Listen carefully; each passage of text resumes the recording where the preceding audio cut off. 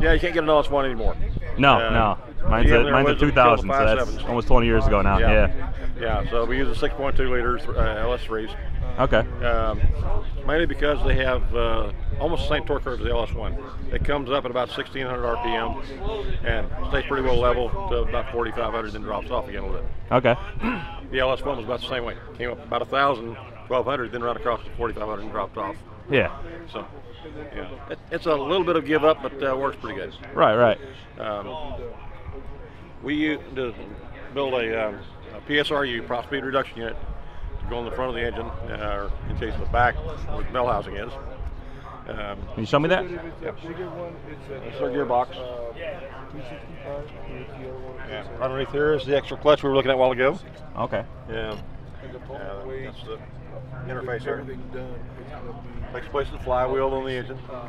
We use our flywheel instead of the GM's. and the system is all Yeah. self. Totally self-contained. Uh,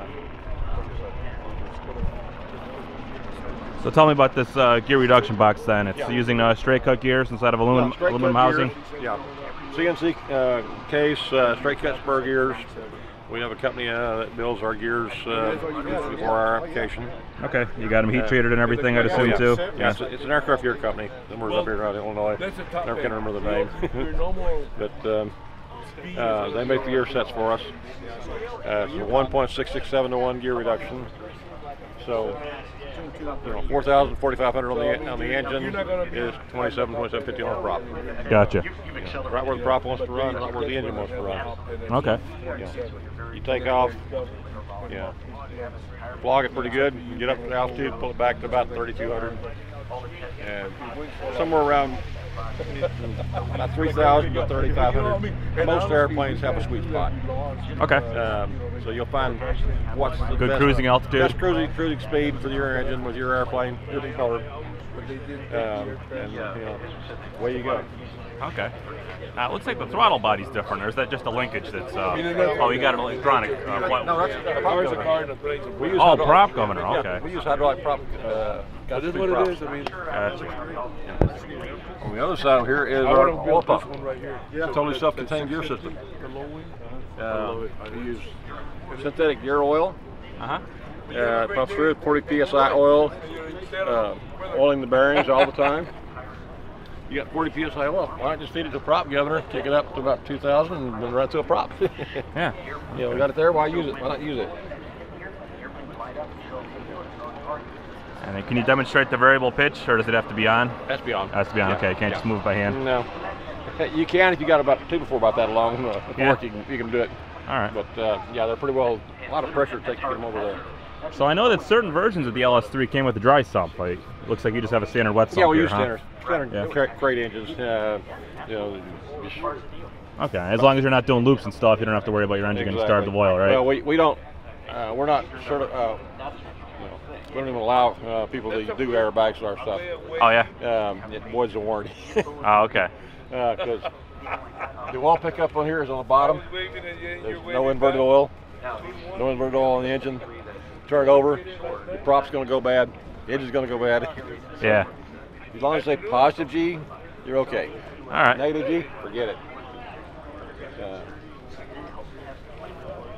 And then is this a custom exhaust man uh, manifold here? no, they're all off the shelf. Uh, Really? Just b- block hugger headers you can buy at any auto parts store. Yeah. Okay. Uh, what we do is we heat treat them or um, powder coat them. Um, this whole set needs to be redone and replaced, and will be. Uh, I've got to rebuild this, this whole system sometime this next year okay. uh, bring it up to the current standards. This is an old style. Uh, has a radiator in the back right now. Doesn't work well on, on the ground. Yeah. What we've gone to is two radiators on the side, one on each side of it. We're going to move the motor mount in behind the uh, uh, headers, Yeah. make the space. Okay, radiator here, radiator on the other side. Now this thing can sit out here on the on 100 degree day, Uh-huh. idling all day long, never overheat. Okay. I'm surprised. So even with the blades turning, you're still uh, have overheating issues, huh? Yeah, uh, because there's not a whole lot of air coming through. Yeah. Cowling and everything around yeah. there. Yeah. Okay. You get sense. high pressure air, you know, flying. Yeah, it's okay, it'll work. But you know, why not do something that works better on the ground? Okay. So that's what we're going to do. Is we're going to do that with uh, radiators on the side. So can you demonstrate it for me on this rig then? Can you demonstrate it for me? Nope. No? Uh, the EAA in their wisdom says propellers at air shows are dangerous, Yeah. so we cannot crank and run it. Okay. Come to Sun 'n Fun, I'm cranking and running for you. Yeah. All right. But not I mean, that's what this apparatus is built for, right? Obviously, yes, yeah. It's got a throttle here and an RPM gauge. So. Yeah. That unscrews, pull out the side, and you can run it. So wait, can you actually drive it around on air power? I mean, it's on a Um, go-kart really. chassis, so. Not really. No? Uh, that's just to get it in out, out of the uh, trailer. Yeah. Okay. Alright. We do take applications occasionally for drivers. We haven't found anybody. Haven't found anyone yet. Stupid enough No. to hit with their with their blade or the blade or Yeah, the with the propeller that close to their head. Yeah. Yeah. You know, right there, they just. It'd be an interesting seating position. You'd have to lay down. Yeah. So. Yeah. Okay. Oh, thank you. Appreciate your time. You bet. When I got out of the Navy, uh, in fact, my youngest son's dad, who was that's how I met his mom, was uh, in a boat shop, built boats. So I spent 22, 27 years actually building boats, wooden boats. Wood, wood, no, uh, if you go up to San Francisco right now, Fisherman's Wharf, you want to go up marlin fishing, right? Yeah. You go up marlin fishing, you're probably more likely to get caught on a boat than Right, right, right. Our smallest, our smallest boat's 37 foot. But it's all wood, it's fiberglass and wood. Yeah. I got, you know, then we did wood cabinets and things like that. Oh, yeah. So I'm, I like wood. I'm building my own. Wood wing. Yeah. I'm, lear- I'm learning how to weld uh, 4132. You know, just got my first ticket. Just yeah, months ago, so I'm learning. You need to explain here, let me, let me break this up and break it down for you. Sure. All right. So, these are, these are the weights, they got roller bearings in them, right? Yeah. So your counterweight. Well, I don't. We don't. I don't have a slotted. Know, yeah, I do. Got a slotted one right here.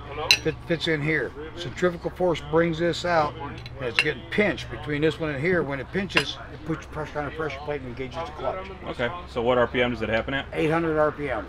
So right at startup, and they'll stay. You know, if you look in here, it's like a hey. It's, I, I, I used to race cars, Chevrolets years ago. Um, when Hays came out with the drag racing clutch, there's no slip. I mean, you know, it's either in or out.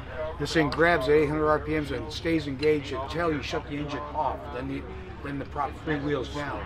All right, uh, the, the biggest couple advantages left. Number one, we got the polymer and spring springs, you know, double dampening on the springs here. That helps with the harmonics, just like it does in your transmission on your car. All right. So you could change the weights then, uh, if you if you had a different RPM motor or something like that. Well, probably. well, you know, on, on you know, if it you wouldn't be good enough to. Well, if, when you fire up your car, okay, it goes vroom like this before the computer says, "All right, slow on down." Yeah. Right. So it's automatically. I mean, and, and the advantage is, is we're saving all kinds, of several pounds on the starter. If you look at the starter on this engine, that starter's only that big Yeah, around big, like yeah, that. It yeah. doesn't. You know, you can pick it up like this. You know, I mean, you know, I remember the old Chevrolets and Fords like that. Man, it was a struggle to get that mm-hmm. starter up in there, and get it in place. This thing doesn't weigh nothing. Even Yeah. even in a, a starter for a Continental. yeah. Okay, you know, I mean, just just think about that. You're, you're cranking that prop, you know, and trying to get it over. You have to have a big starter. And what's what's the, what's what's the rule? Uh, 15, 15 blades, and you let the starter cool off, right? Because because it's trying to do that mass. And I fly a, a 56 Cessna 172 straight. Nice, nice little bitty, you know, 300, four, you know, Continental. You shut that engine down like that, and the wheels jump off the ground with that prop trying to keep that engine going. It goes whap, whap. You know, I I can't remember what, uh, what these guys call it, but you know, it's, it's hops because that that blade is still trying to turn that engine over. This, you shut the engine off. A lot of inertia. And the blade free, the blade free wheels down. You're not trying. It's not trying to turn them. So, it, you know, it's pretty rough on the airframe when that thing's going bam, bam, bam. Oh, I'd imagine, yeah. You know, so jumping. You know, you watch some of these guys when they come in and shut these things off. You a lot of times you'll see about three bounces on that wheel, that blade's winding down. That's good. Wow. I'll look for that. Yeah. I'll look for that, yeah. Yeah, uh, there, there are other gearboxes out there, and they work pretty good. Except the only thing I don't like what what what they're trying to do to handle the harmonics is they got a big rubber biscuit connected to the crankshaft and connected to the gearbox, and that's what they're using to try to dampen it. Yeah. All right. Well, they tried those in boats. They worked great in boats for a while. Yeah. You know, like the old drag boats or something like that, that torque and that prop. You know, but uh, this has been working in working since uh, well that's probably the reason they invented the damn thing right? We- I mean Model A's Model T's had a clutch Sure, sure. and, uh, and uh, it was more for it, wa- it wasn't so you, that you could coast and change gears it was that for the harmonics between the transmission and the gear. This this handles the harmonics between the blade the transmission and the engine. And we got uh, what, the original one had 900 hours on it took, the- took the gearbox apart and there was no wear inside the gearbox Show, show us where that is. Let's, let's right, look yeah. the video. Okay. I already took a look, but thank you.